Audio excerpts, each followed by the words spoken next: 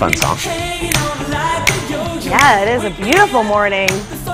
We love seeing the sunshine. Hey, welcome back to Indy Now.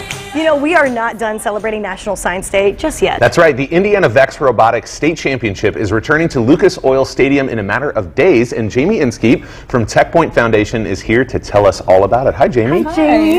It's good to have you here. this is so exciting. a state championship coming up, and I know you've brought an example of what we can expect there. Yes, yep, this is just um, a smaller version of a robot of what you could expect at the Indiana State Championship, but students have been, been preparing all school year long for this moment. And are these students from all over the state? Like, Yes. how, how many teams are there? There are over 260 teams. Oh my gosh. From Wow. all over the state of Indiana. Wow. Ah, Elementary, middle, and high school. I can't believe that. And Yeah. so this is really important because it isn't just about having some fun and building something. I mean, the science component behind it is Yeah. what this is all about. Absolutely. The skills that they develop, the soft skills of the teamwork and the collaboration and the critical thinking, those are skills that are going to go with them wherever they decide to do after high school.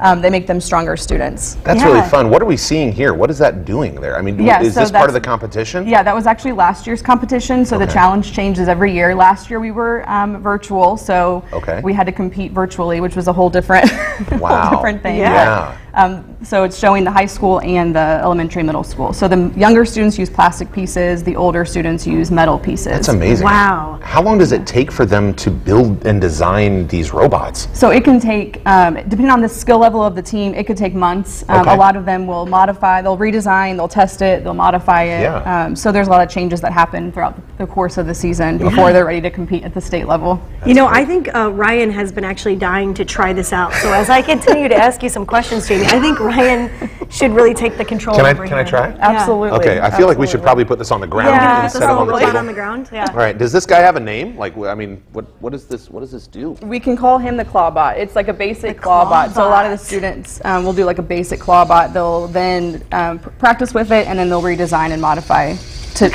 fulfill go. the challenge. He's feeling it. You know what? Let's He go the other way. it. Yep. All right. How do I do the little claw thing? You have to push that down here. Okay, down there. So as Ooh, Ryan is just elegantly moving this robot around, what is this experience like, not only for the students, but also for the, the coaches and educators involved? Yeah, absolutely. He just wanted to give the table a hug.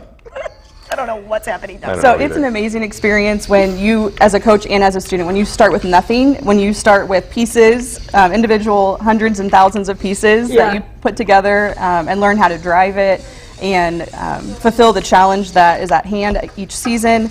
Uh, you can imagine the excitement when um, when students succeed at the challenge. Yeah, and, and what's the age group too for these for these kind of kids? Yeah, so it can start as early as kindergarten all the way up to seniors in high school. What about like a 40 year old grown man who's? Yeah, you're doing it right Okay. now. All right, great.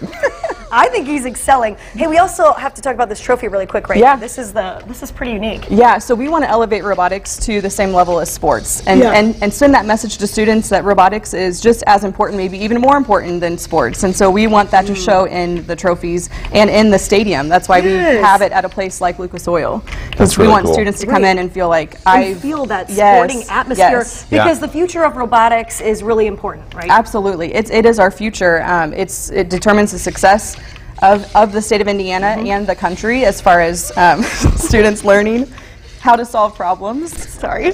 There's sorry, there's a robot tugging at my foot right now.